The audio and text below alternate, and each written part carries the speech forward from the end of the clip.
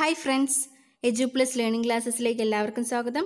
Mission L D C twenty ട്വന്റിയുടെ daily ten current affair ക്വസ്റ്റ്യൻസിലേക്ക് നമുക്ക് പോവാം. ആദ്യമായാണ് ഈ വീഡിയോ കാണുന്നതെങ്കിൽ ആദ്യം പറയുന്ന പത്ത് ചോദ്യത്തിനുള്ള ആൻസർ നിങ്ങൾ സ്വയം കണ്ടെത്തുക.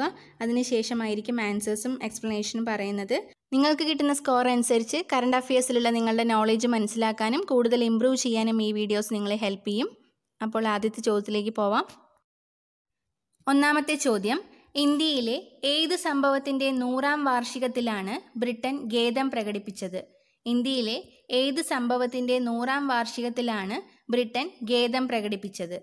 രണ്ടാമത്തെ ചോദ്യം റഷ്യയുടെ സിവിലിയൻ ബഹുമതിയായ ഓർഡർ ഓഫ് സെയിന്റ് ആൻഡ്രൂ പുരസ്കാരം ലഭിച്ച ആദ്യ ഇന്ത്യക്കാരൻ. റഷ്യയുടെ സിവിലിയൻ ബഹുമതിയായ ഓർഡർ ഓഫ് സെയിന്റ് ആൻഡ്രൂ പുരസ്കാരം ലഭിച്ച ആദ്യ ഇന്ത്യക്കാരൻ. മൂന്നാമത്തെ ചോദ്യം രണ്ടായിരത്തി പത്തൊൻപതിൽ പുലിസ്റ്റർ പുരസ്കാരം നേടിയതാര്? രണ്ടായിരത്തി പത്തൊൻപതിൽ പുലിസ്റ്റർ പുരസ്കാരം നേടിയതാര്? നാലാമത്തെ ചോദ്യം ജാമിയ മിലിയ ഇസ്ലാമിയ സർവകലാശാലയുടെ ആദ്യ വനിതാ വൈസ് ചാൻസലർ. ജാമിയ മിലിയ ഇസ്ലാമിയ സർവകലാശാലയുടെ ആദ്യ വനിതാ വൈസ് ചാൻസലർ.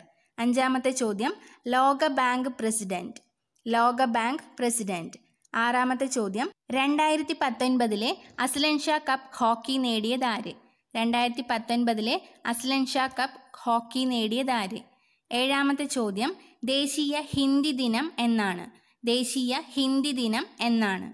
എട്ടാമത്തെ ചോദ്യം രണ്ടായിരത്തി പത്തൊൻപത് മുതൽ ഐക്യരാഷ്ട്രസഭ ബ്രെയിലി ദിനമായി ആചരിക്കുന്ന ദിവസം.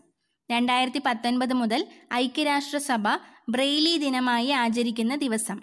ഒൻപതാമത്തെ ചോദ്യം ഇന്ത്യയിലെ ആദ്യത്തെ ആയുർവേദ കായിക ആശുപത്രി നിലവിൽ വരുന്ന ജില്ല. ഇന്ത്യയിലെ ആദ്യത്തെ ആയുർവേദ കായിക ആശുപത്രി നിലവിൽ വരുന്ന ജില്ല. പത്താമത്തെ ചോദ്യം ദക്ഷിണ തീര റെയിൽവേയുടെ ആസ്ഥാനം. ദക്ഷിണ തീര റെയിൽവേയുടെ ആസ്ഥാനം.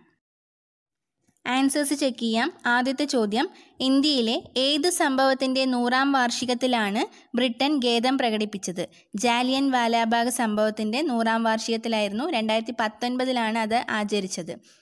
രണ്ടാമത്തെ ചോദ്യം റഷ്യയുടെ പരമോന്നത സിവിലിയൻ ബഹുമതിയായ ഓർഡർ ഓഫ് സെയിന്റ് ആൻഡ്രൂ പുരസ്കാരം ലഭിച്ച ആദ്യ ഇന്ത്യക്കാരൻ നരേന്ദ്രമോദി. മൂന്നാമത്തെ ചോദ്യം രണ്ടായിരത്തി പത്തൊൻപതിൽ പുലിസ്റ്റർ പുരസ്കാരം ലഭിച്ചത് ആർക്ക്?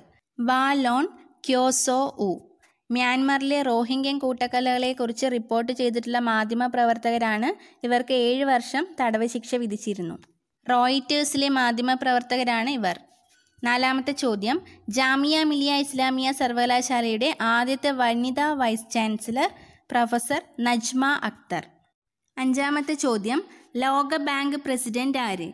David Malpass. ആറാമത്തെ ചോദ്യം. രണ്ടായിരത്തി പത്തൊൻപതിലെ അസ്ലൻ ഷാ കപ്പ് ഹോക്കി നേടിയതാര്? സൗത്ത് കൊറിയയാണ് നേടിയത്. ഇന്ത്യയെ പരാജയപ്പെടുത്തിയാണ് സൗത്ത് കൊറിയ വിജയിച്ചത്. ഏഴാമത്തെ ചോദ്യം ദേശീയ ഹിന്ദി ദിനം എന്നാണ്. സെപ്റ്റംബർ പതിനാല്. എട്ടാമത്തെ ചോദ്യം രണ്ടായിരത്തി പത്തൊൻപത് മുതൽ ഐക്യരാഷ്ട്രസഭ ബ്രെയിലി ദിനമായി ആചരിക്കുന്ന ദിവസം ജനുവരി നാല്. ഒൻപതാമത്തെ ചോദ്യം ഇന്ത്യയിലെ ആദ്യത്തെ ആയുർവേദ കായിക ആശുപത്രി നിലവിൽ വരുന്ന ജില്ല തൃശൂർ. പത്താമത്തെ ചോദ്യം ദക്ഷിണ തീര റെയിൽവേയുടെ ആസ്ഥാനം എവിടെ? വിശാഖപട്ടണം. എല്ലാവർക്കും നല്ല സ്കോർ ഉണ്ടെന്ന് കരുതുന്നു. പറ്റുമെങ്കിൽ നിങ്ങളുടെ സ്കോറുകൾ കമന്റ് ചെയ്യുക. മറ്റുള്ളവർക്ക് പഠിക്കാനുള്ളൊരു മോട്ടിവേഷൻ കൂടെ അത് നൽകുന്നതായിരിക്കും. ഈ വീഡിയോ നിങ്ങൾക്ക് ഉപകാരപ്രദമാകുന്നുണ്ടെങ്കിൽ ലൈക്ക് ചെയ്യുക ഷെയർ ചെയ്യുക. നിങ്ങളുടെ അഭിപ്രായങ്ങളും നിർദ്ദേശങ്ങളും കമന്റ് ബോക്സിലിടാൻ മറക്കരുത്. തുടർന്നുള്ള കറണ്ട് അഫയേഴ്സ് ക്ലാസുകൾ ലഭിക്കുന്നതിനായി സബ്സ്ക്രൈബ് ചെയ്യുക. താങ്ക്